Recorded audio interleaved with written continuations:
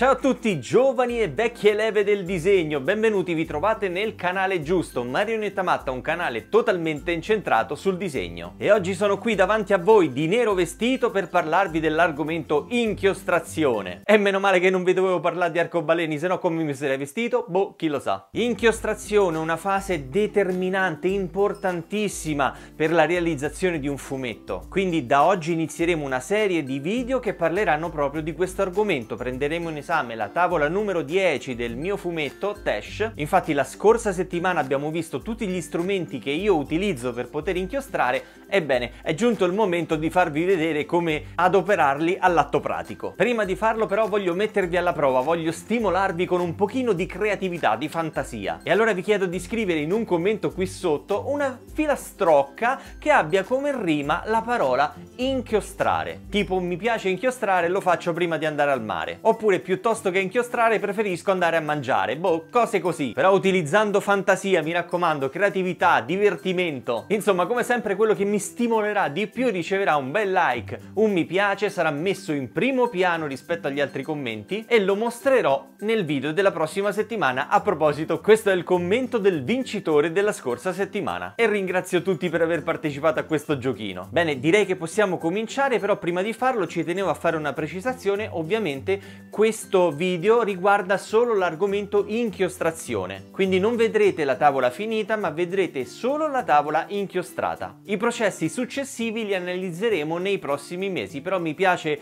dedicarmi un po' di più sull'argomento inchiostrazione perché lo reputo, diciamo, argomento portante per la tematica dell'anno, ovvero creare un fumetto. E allora buona visione e iniziamo con il tutorial. Bene, ci troviamo sul nostro tavolo creativo, voi state vedendo la tavola in, sul foglio B4 eh, appunto disegnata a matita che fa riferimento a quest'altro sketch. Eh, la scorsa settimana qualcuno mi ha detto ma perché eh, inchiostri pure lo sketch? Lo faccio semplicemente per allenarmi, ok? Utilizzo questo metodo per potermi esercitare nell'inchiostrazione. Se volete allenarvi potete farlo anche voi. Comunque, questa tavola mi permette di avere bene sotto controllo tutti gli elementi che dovrò poi andare ad inserire. Quindi la prima cosa che faccio è quella di utilizzare il tratto pen. Il tratto pen io utilizzo lo 06 come punta e mi serve per poter andare a creare i margini delle varie vignette. Ok, quindi righello, tratto pen e si comincia.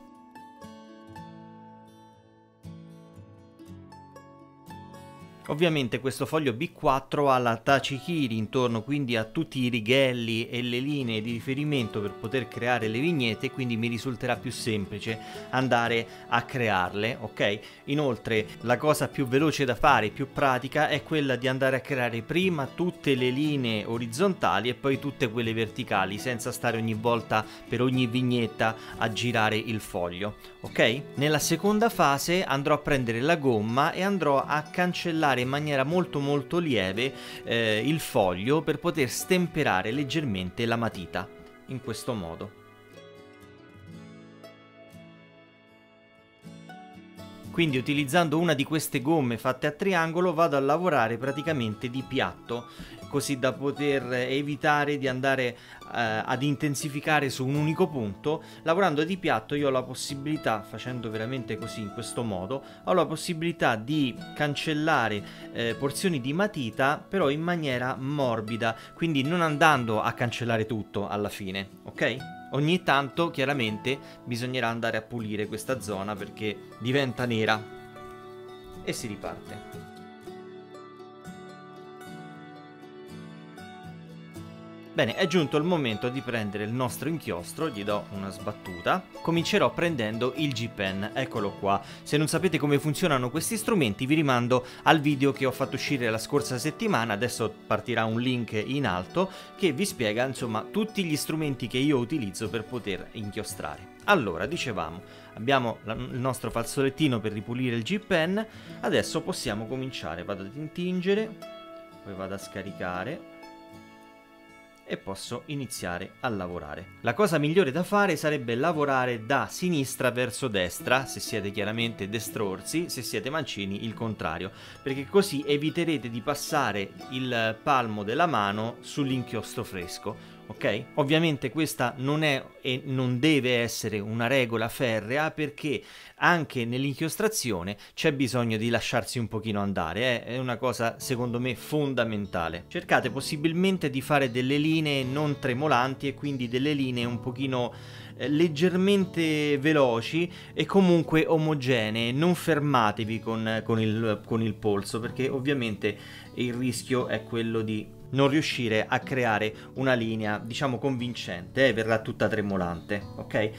È importante in questa fase poter spostare, piegare il foglio come ci pare. È veramente fondamentale questa cosa, eh, ve, la, ve la consiglio. Non è un caso se anche i, i programmi di disegno hanno inserito la possibilità di roteare il foglio virtuale proprio perché effettivamente so, è, è, una cosa fondamentale. Tutti noi abbiamo delle linee che facciamo meglio e delle linee che facciamo peggio. Magari che ne so, le linee orizzontali ci riescono un po' più così così, le linee verticali invece riusciamo a disegnarle meglio e allora sfruttiamo la possibilità di roteare il foglio proprio per andarci ad agevolare la vita. Cercate di essere il più rilassati possibili, perché se non siamo tesi riusciremo a trasferire un tratto più sicuro, più deciso e anche più nostro, ok?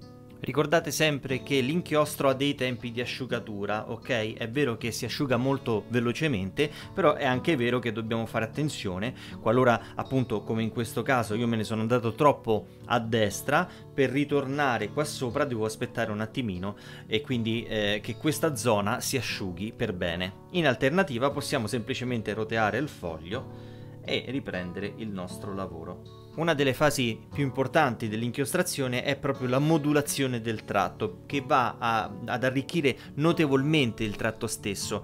Quindi, ehm, che cosa bisogna fare? Semplicemente bisogna imparare a dosare bene la pressione della mano, come vi ho spiegato anche la scorsa settimana, perché più si preme con i pennini e più uscirà l'inchiostro, formando un tratto più largo, mentre se non premiamo, se ci andiamo leggeri, il tratto sarà più fino. Il criterio da utilizzare principalmente sta nel, mm, in tutto ciò che si trova davanti, quindi tutto ciò che si trova davanti andrà inchiostrato con un tratto molto più spesso, tutto ciò che si trova sullo sfondo in lontananza andrà inchiostrato con un tratto molto più fino ma non è questo l'unico modo, diciamo, per poter eh, inchiostrare modulando il tratto, ci sono eh, tante, tantissime possibilità, molte delle quali sono anche ad uso ehm, del, del, disegnatore stesso, ok? Che sceglierà in base anche sua, al suo gusto personale come inchiostrare, in che modo andare a, ad intensificare su determinati punti. Adesso vado a prendere l'altro pennino, questo qui è il Maru Pen, ok? Questo pennino molto molto più fino rispetto al G-Pen che mi permetterà di andare a lavorare appunto molto più di precisione. Che cosa faremo in quest'altra fase? Andremo a mm, creare un pochino di vissuto sul, sugli abiti e intorno alla vignetta, ok? In che modo? Andando a creare delle linee delle linee che vanno a generare un pochino l'effetto dell'ombra ma anche l'effetto del vissuto stesso, ok? In questo modo cercate se potete di variare la posizione delle linee. Infatti non so se riuscite a vedere se, se la telecamera riesce ad inquadrare bene però le linee che ho disegnato ehm, su questo diciamo questo sull'outfit di Tash vanno verso il basso in questo modo mentre quelle che ho disegnato sul ginocchio vanno in diagonale in questo modo ok questi contrasti vanno in qualche modo ad intensificare la bellezza del, um, del disegno stesso. Bene, proseguiamo nel disegno andando sempre ad intensificare con queste linee che danno ombra e anche, diciamo, il vissuto degli abiti. Se dovete andare ad incrociare delle linee per poter intensificare ulteriormente l'ombra, non fate delle croci, quindi non fatelo in questo modo, ma dovrebbe essere una cosa più tipo a forbice, così da poter mantenere la tridimensionalità e il senso di profondità, perché se invece andiamo a creare una croce eh, si appiattirà tutto il disegno. ok? Quindi io in questo caso sono andato in diagonale verso l'alto, come potete vedere, non andrò così in diagonale verso il basso per poter andare a generare un pochino più di ombra, qui in questo punto andrò a lavorare così, a forbice.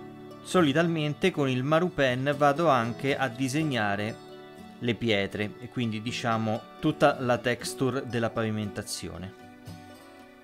Quindi in sostanza dovremo cercare di giocare con queste linee eh, utilizzando appunto questo escamotage, andare di volta in volta a eh, cambiare eh, di direzione delle linee stesse per poter creare un po' di gioco. Se tutte le linee andassero n- nella stessa direzione, purtroppo non avremo la stessa resa. Quindi il trucco che utilizzo io è semplicemente eh, questo: quando cambia elemento, io vado a cambiare anche la posizione della, della linea che andrò a tratteggiare. Quindi in questo caso qui sono andato a fare delle linee che vanno così in diagonale leggermente verso il basso, su quest'altro punto sono andato per orizzontale e qui invece andrò sicuramente da quest'altra parte, cambierò verso.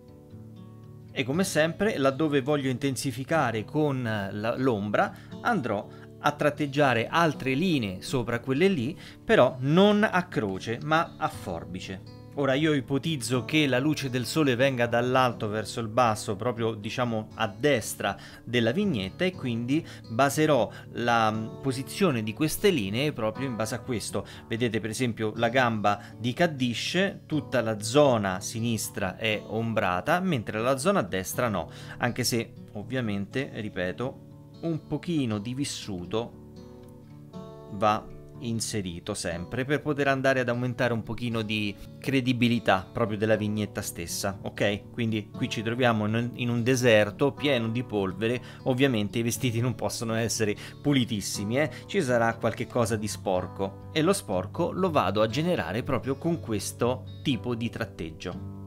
In questo caso, come potete vedere, il volto di Kaddish non è definito, non si vedono gli occhi, non si vede praticamente nulla, semplicemente perché voi non dovete immaginare il foglio così grande, ma questo poi sarà ridimensionato, diventerà piccolino come un, un tankobon di quelli che comprate eh, in fumetteria e quindi ovviamente questi dettagli non si vedranno e non sarà neanche necessario mostrarli. Come vedete sullo sfondo io ho creato del fumo, ecco anche il fumo andrà eh, intensificato, andrà creata profondità proprio con queste strisce, ok? Quindi andremo a creare delle strisce stavolta un po' più curve, curviline, proprio per dare il senso della morbidezza che corrisponde al fumo. Ok, è capitato. Di tanto in tanto, specie se andate veloci, può capitare che la punta del Marupen, ma di tutti gli altri pennini che utilizzate, va ad impuntarsi proprio e quindi poi vada a fare effetto catapulta di inchiostro, come è successo in questo caso. Come potete vedere, ci sono degli schizzi di inchiostro. Non fa niente, non vi preoccupate. Voi andate avanti con il disegno perché tutte queste cose possono essere tranquillamente cancellate eh, poi nella fase di clean up app, quindi quando si passerà direttamente in digitale. Bene, è arrivato il momento di utilizzare il Food Pen. Il Food Pen io lo utilizzo tantissimo quando inchiostro le mie tavole proprio perché mi piace tantissimo andare ad intensificare il tratto eh, di certi elementi, soprattutto diciamo i lineamenti esterni dei vari personaggi. Non lo faccio su tutto, dipende dalla situazione. In questo caso, ad esempio, io voglio andare a creare la tridimensionalità. Vedete, eh, qui c'è il piede di Kaddish che viene verso la telecamera e quindi io voglio andare ad intensificare proprio su questa zona creando un tratto molto più intenso, molto più profondo, proprio per ottenere questo risultato. Inoltre, con il Fude Pen, che è appunto un pennellone grosso che ci permette di utilizzare l'inchiostro con grandi porzioni, andrò a colorare tutte le parti in nero, partendo ovviamente dal corpetto di Kaddish. Adesso andiamo ad intensificare le zone che voglio.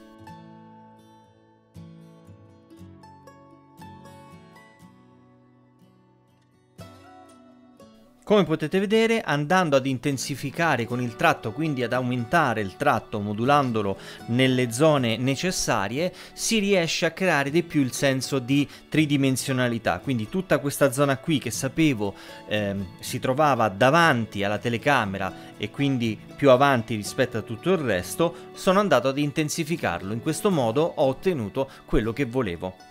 Adesso vado ad utilizzare ancora il Fude Pen per poter andare ad aumentare un po' la modulazione nelle zone che desidero.